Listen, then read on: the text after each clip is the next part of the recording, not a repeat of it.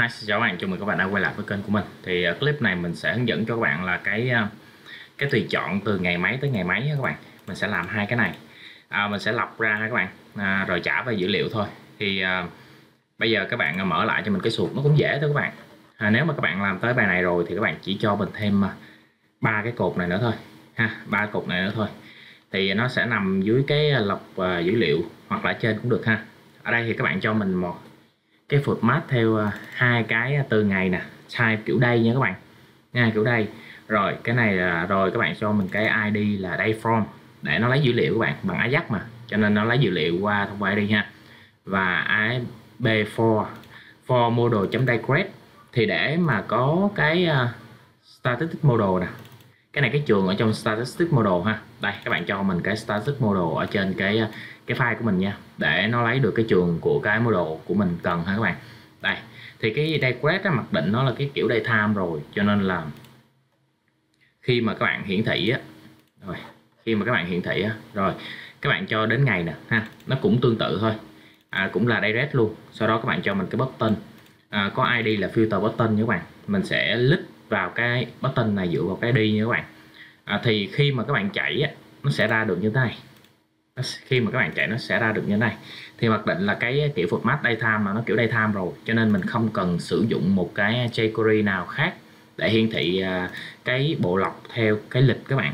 Ha cái này là bộ lọc theo cái lịch daytime nè mà của thằng à, daytime của thằng à, ASP nó cho mình các bạn. Đó cho nên mình không cần trước thì mình sử dụng jQuery UI các bạn. Ha để lọc nhưng mà bây giờ mình không cần nữa các bạn ha. Rồi khi mà các bạn được như thế này á thì uh, sau khi xong như thế này rồi thì các bạn sẽ cho mình cái uh, một cái hàm thôi. Cái hàm ha. Đây kiểu này là lọc nè. Lọc theo à, tùy chọn ha. Theo tùy chọn. Rồi thì nó cũng dễ mà. ID là filter button nè. Đây ID filter button ha. Hoặc khi lít vào á thì mặc định mình sẽ lấy cái ngày đúng không? Cái ngày mà mình cần lọc là từ ngày mấy tới ngày mấy các bạn? Thì lấy hai cái này dựa vào cái ID là đây form và đây tu. Thì đây form và đây tu đây. Đúng không? Lấy hai cái này. Rồi. Thì khi các bạn lấy xong á thì các bạn chỉ việc là gì? Chỉ việc gửi qua cái Ajax là filter data thôi. Ở đây mình sử dụng vẫn sử dụng dashboard controller ha. Và các bạn đẩy data qua cái à, cái hàm của mình là from day với tu đây, ha. Đẩy data qua.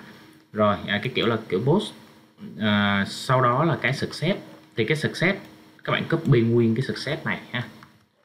À, nếu mà các bạn làm tới bài này thì à, chỉ bật việc copy thôi ha. À, các bạn nhìn là các bạn hiểu thôi. Thì khi mà trả về data thì à, mình chạy cái gì? Cái chart Morris của mình ha. Chạy cái à, cái biểu đồ của mình rồi mình set data theo cái vòng lặp data map nè. Rồi mình lấy ra dữ liệu. À, rồi sau đó là nếu mà lỗi á, thì là no data receive from à, risk chart update ha. Còn không thôi thì error fit uh, data. Rồi à, nếu mà không có dữ liệu thì nó sẽ xuất hiện dòng lỗi.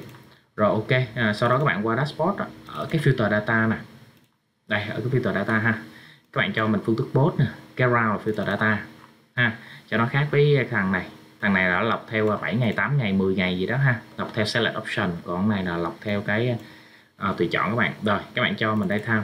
Thì các bạn phải format cái thằng from day với today ha thành cái kiểu day tham. Mặc định nó gửi qua là theo kiểu day tham rồi nhưng mà các bạn phải format lại ha rồi à, uh, query các bạn cho mình là static uh, as uh, queryable uh, queryable có nghĩa là các bạn thêm cái này á, là để gì các bạn? Để nối thêm ha để nối thêm cái à, cái câu lệnh các bạn. Nếu mà from đây có ha có cái giá trị thì mình sẽ nối thêm là từ gì? À, mình sẽ lấy dữ liệu từ là cái ngày tạo các bạn ha lớn hơn một bằng cái from đây. Có nghĩa là mình sẽ lấy à, à, cái ngày mình lọc ra các bạn. Mình sẽ lọc ra cái ngày mà à, mình cần á, là phải lớn hơn hoặc bằng cái ngày à, từ ngày ha rồi nhỏ hơn hoặc à, hoặc bằng cái à, à, thấp hơn cái ngày mà mình cần lọc các bạn. Rồi hash value cái này dễ thôi ha hai các bạn. Rồi cái này nối nè nó query nối là que que nè. Rồi à, sau đó các bạn chỉ việc là trả về data list giống như thế này thôi ha trả về thôi. Rồi à, trả về theo kiểu JSON tạo một cái à, data cho query nè trả về kiểu JSON ha. Thì à, các bạn chạy lại suột các bạn. Khi mà các bạn chạy lại suột á thì à, khi mình lọc nè à, các bạn sẽ cho là space element nè để mà check cái network cái tab Ajax của mình đó coi có chạy hay không thì các bạn vào cho mình cái tab network nè. Ha thì từ ví dụ như mình cần lọc từ tháng à, tháng 7 đi ngày 5 tháng 7 cho tới bây giờ đi là 31 tháng 10 thì filter nè. Đây đây là cái hàm của mình nè các bạn là filter data nè. Tương ứng với cái hàm mà mình khai báo ở bên đây là filter data nha các bạn. Rồi khi các bạn lít vào nè đây à, nó sẽ có là header nè. 200 là thành công các bạn ha và nguyên đây nguyên cái URL của mình nè là admin là dashboard filter data ha. Rồi phương thức nè request method là phương thức post nè. Rồi cái remote address là cái cái uh, cái local address của mình đó các bạn ha địa chỉ à, địa chỉ IP của mình á local ha. Rồi là strict origin when cost origin. Cái này theo dạng mà chia sẻ dữ liệu giữa các uh, domain các bạn ha chia sẻ dữ liệu giữa các domain á. À, rồi còn những cái dòng này thì thứ ngày tháng gì đó ok. Rồi file log nè tom đây today có nghĩa là đây là cái dữ liệu của cái form data nè các bạn ha của cái form data dữ liệu là từ ngày nè đến ngày nè ha nó lấy nè nó lấy được cho mình nè.